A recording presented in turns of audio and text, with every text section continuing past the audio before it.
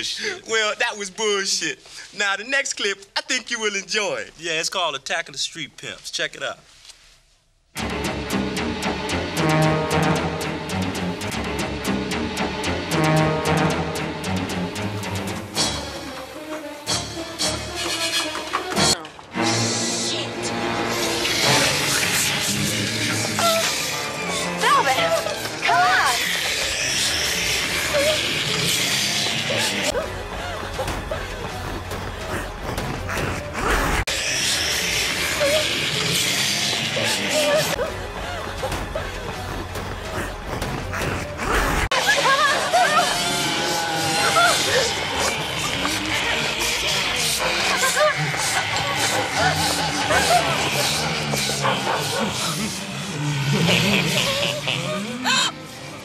Where's my bitches?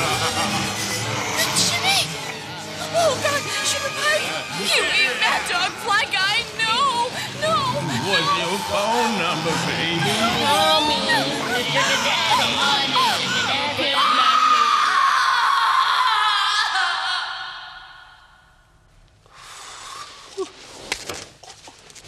Now, that was a good movie. I love this movie. It was genius. The direction, the acting, the storyline, that shit was bad. The motherfucker scared the shit out of me, man. That shit could really happen. I believe this movie.